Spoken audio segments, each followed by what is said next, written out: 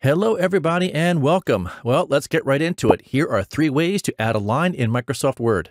Method one, you can draw the line manually by clicking on Insert, Shapes, then click the line icon. Now, the critical part is to get your line straight.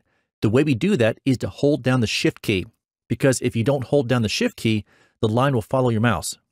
So again, hold down the Shift key, then click and drag, and there you go. To modify the line, first click on it then you can go up here and click on the shape format. And right here, you can play around with the colors, change the line weight, change the style, etc.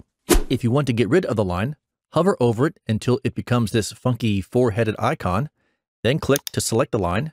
From there, press your delete key, and it's all gone. Method two is to let Word add the line for you by using something called the auto format. In this case, to add the line, we can type a series of three specific keys, and Word will do the heavy lifting for us.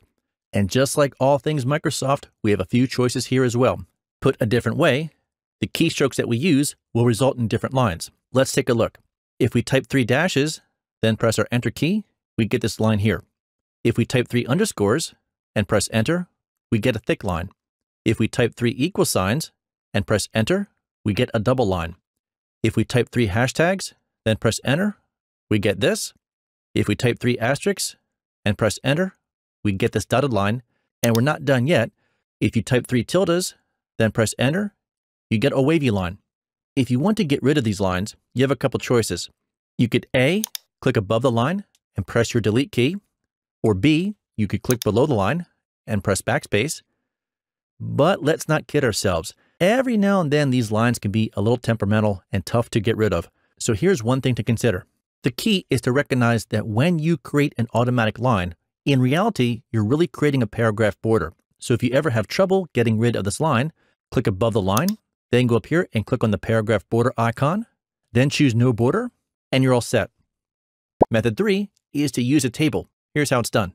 Click Insert Table, and in this case, let's go with a two by two table just for illustration purposes. From here, it gets a little bit funky. What we have to do is first remove the borders and then reapply them. To do this, we'll select the table by clicking this icon right here. Then we'll click Table Design, go over here, click the drop arrow, and choose No Border. As a side note, if everything disappears, what you need to do is turn on the grid lines by clicking on the Layout tab, then choosing View Grid Lines. And all turning on the grid lines does is show us where the boundaries of the table are, but the grid lines will not print. From here, I'll do a quick resize on the column just to make things a little more pronounced. Next, I'll do a click and drag to select the far right columns. Then I'll go up to where it says Table Design and choose Borders, Borders and Shading. From here, we can choose the style we want to use or change the color or width accordingly. Now, to apply the border, what we need to do is click on a combination of these icons over here. So in this case, I'll click on this icon here and then this one. Click OK.